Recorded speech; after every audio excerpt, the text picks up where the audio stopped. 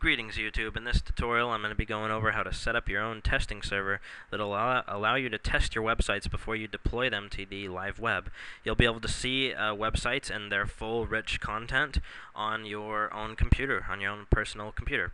And I'm going to be using Windows 7. You could be using Linux, uh, Mac, it really doesn't matter because all of the software we're going to be talking about is compatible with all three of those systems as far as I know of.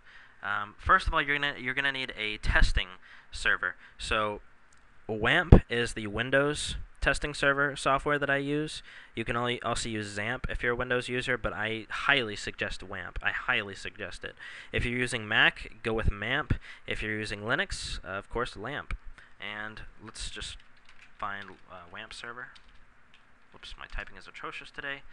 Um, and here we go. Go to Downloads make sure you go to wampserver.com slash en. Um, if you are an English speaker, you're going to want to do that because wampserver.com or is originally either French or Spanish. I can't remember. I believe it is uh, French. I can't remember to be honest. And if you have a 64-bit system like myself, download this one. 32-bit, uh, if you are a 32-bit user, obviously. I've already taken the liberty of downloading and installing it. I assume that most of my viewers can do that. Uh, I'm just, you know, going out on a limb here.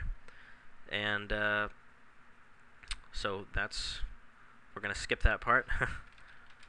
and let's go ahead and change some settings in WAMP. Start up your WAMP server, and here's some settings you're really going to want for my tutorials. Uh, first of all, let's go into php.ini and change some PHP settings. Control F to find and look for short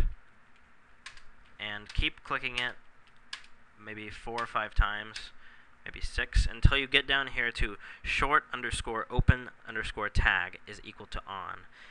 If it is on, you're good to go. Make sure it is on. If it is off, turn it on. You are going to want this. This is very, very important.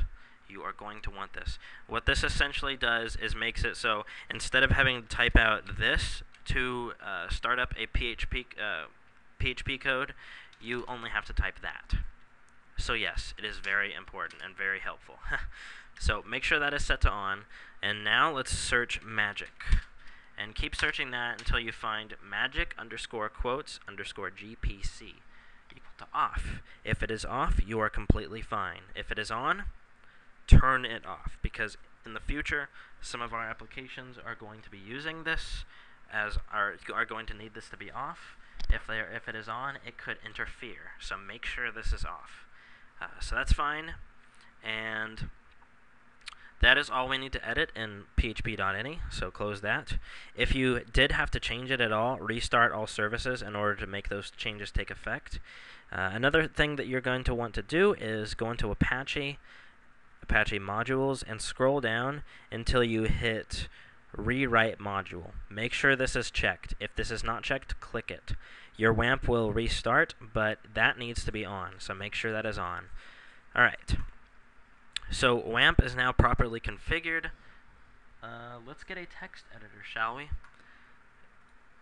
Now, in my experience, I don't like Dreamweaver. I don't like any artsy type of program like Dreamweaver. I think that is for a person who is artistic and wants a cheap, lame website.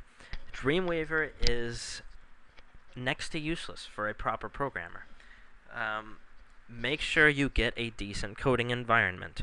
Uh, Dreamweaver is, first of all, over the top and expensive. You don't need it. Uh, it's too much money for what it is. And if you pirate it, well, good for you, but here's the thing. Um, it's really not worth it. It's not worth the download. So, in my experience, I use Notepad++. You can also use just the generic Windows Notepad, but you'd be crazy if you did. I, I don't understand why anyone would do that. So just get Notepad++. And that's what I'll be using for my videos. It looks like this.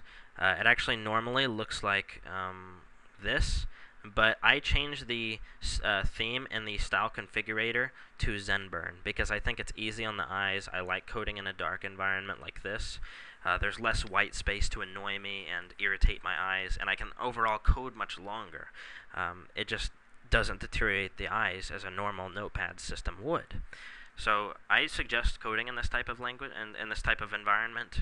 You don't have to if you don't want to. It's all up to preference. Just uh, just just a uh, example.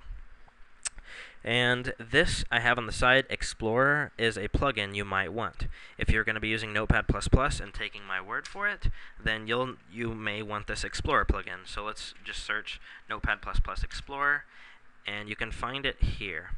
Now it's going to, if you click on this link, you're going to find that it has been moved.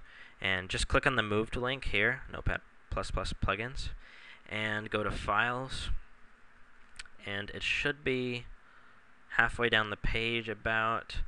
Uh, it's going to say Explorer. My eyes are betraying me right now. Um, now, there's Light Explorer and Explorer. I would go with Explorer. And once you click on it, there will be multiple different versions. Just download the latest version, folks. Uh, it doesn't really matter but definitely get the latest version. so I'm not going to download it because I already have it, but the way you would install it, actually I am going to download it so I can give you an example. Well, no, I'm not actually. Alright, once you download it, it'll be a DLL file. You're going to need to take that DLL file and move it into your plugin folder on your Notepad installation. Now, I'll give you, I'll show you where that's at. Uh, if you go to your Notepad installation right here, Notepad++, and you find plugins, just move the DLL in here. See, myexplorer.dll is right there. And then restart Notepad and go into Plugins, Explorer, and make sure that it is enabled. And here it is, right here. So, that's Explorer plugin, and that is Notepad, and that is getting your web server up and running so you can test websites. Um, you can view your website by going to uh, localhost. You can view your databasing or your, your MySQL databases by going to phpMyAdmin. Uh, you can go to the directory your website should be in by going here. I have created a website called TutSite, which I will be using to make websites and the following tutorials. Um, you should do the same if you want to follow my tutorials. And um, that is it for this tutorial. I hope you enjoyed it. I hope you learned something. Uh, I hope you'll follow me in my next few tutorials. This one was kind of just a basic one to get people started.